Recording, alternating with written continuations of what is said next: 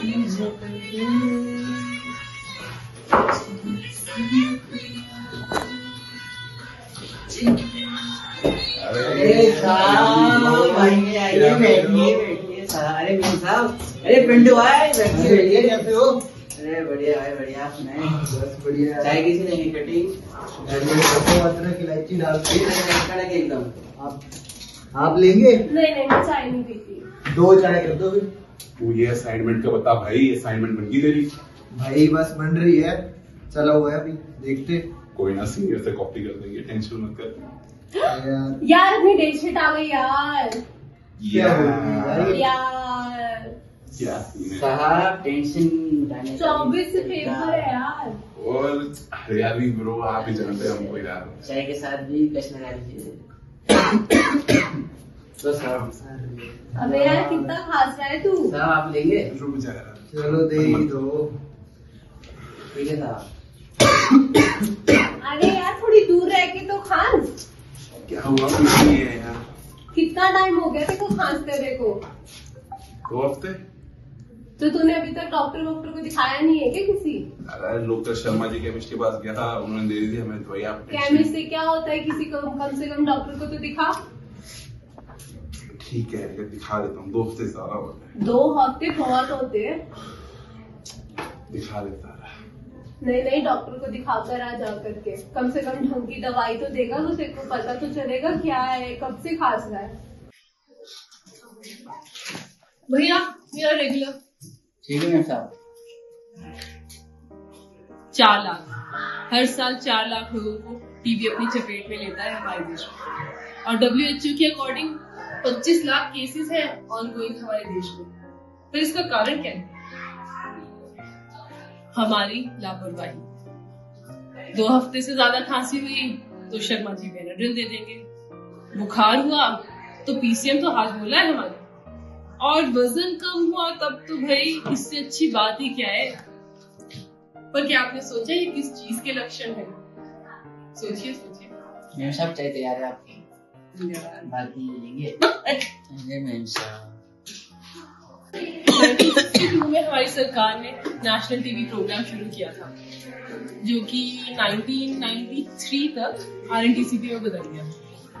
M तो था कि टीवी एलिमिनेट करना है डॉट्स सीबी नेट जैसी नई इंटरवेंशन भी लाए बट सक्सेस रेट फिर भी थोड़ी डामाडोली है उसका कारण कुछ हमारे एंड में हो सकता है। और कुछ इनके एंड पे लोग आए ही नहीं। कुछों का इलाज केमिस्ट ने कर दिया। कुछों का इनकी तरह झोला छाप ने कर दिया। बाबा जी। बट हमारे तक तो लेट ही आते हैं। अब देखते हैं हमारे मरीज़ आते हैं या नहीं। डॉक्टर साहब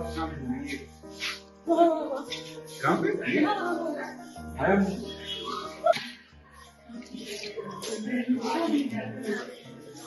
आइए आइए बैठिए बैठिए। क्या नाम है आपका? आरुष। क्या उम्र है आपकी? तेईस। कहाँ के रहने वाले? सोलह। किस दिक्कत के साथ आए हैं खांसी है तो कर हफ़्ते खांसी है? कब से दो हफ़्ते से? और कोई खांसी के साथ हो कोई दिक्कत? कुछ नहीं है। हाँ जी डीडी बताएँ कब? From past two weeks sir upper respiratory tract infection हो सकती है। हाँ हाँ। इन्फ्लुएंजा हो सकता है। जैसे कि आजकल बहुत फैल कोविड भी हो सकता है। एस्थमा हो सकता है। स्मोकिंग करते हो आप? नहीं तो सर फिर हम सीओपीडी को इतना नहीं ले सकते स्मोक नहीं करते आप। सच बोल रहे हो ना? हमसे झूठ नहीं बोलना है। हाँ जी डॉक्टर साहब करते हो।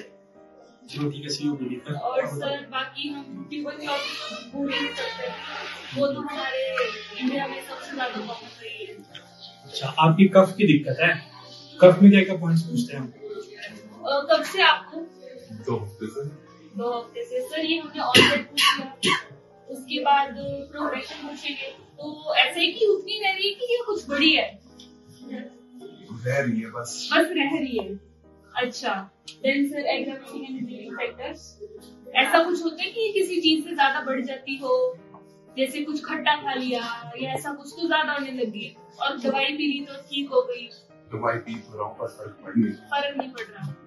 there are no indicators. और आपको एसोसिएटेड सिम्टम्स पूछेंगे सर हम?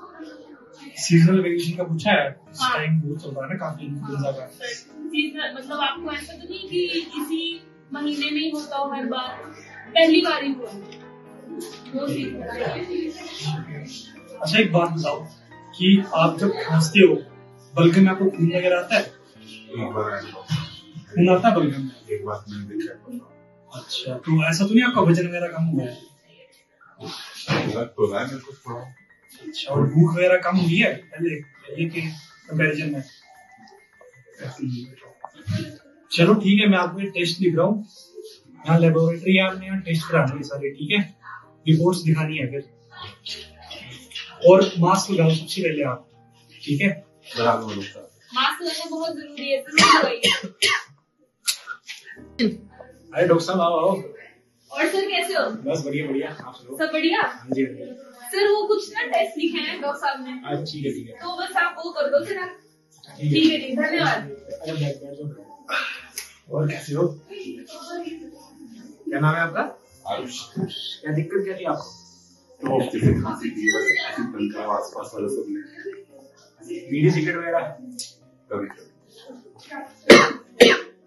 ये टेस्ट है आपकी? बलगम किसकी बलगम की जाँच हो गई है आपकी ना तो एक टेस्ट तो हो जाएगा आपका। सीपी नेट जो है उसमें दो घंटे में आपकी रिपोर्ट आ जाएगी। वो ले लेगा मुझसे।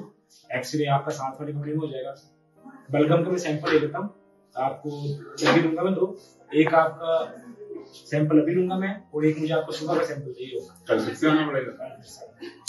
दिक्कत तो है आप क्या करें?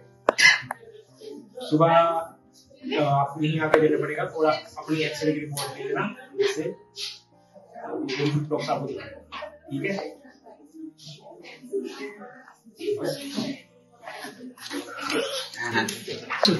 आ गई एक्सरे रिपोर्ट क्या दिख रहा है एक्सरे में?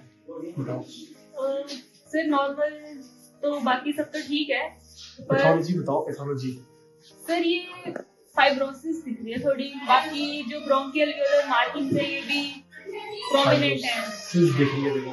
वाला हमारा डायग्नोसिस जो हमने सस्पेक्ट करा है ठीक है। हाँ सर एक काम करो पेशेंट को इन्फॉर्म करो डॉट सेंटर पे उसको दे दो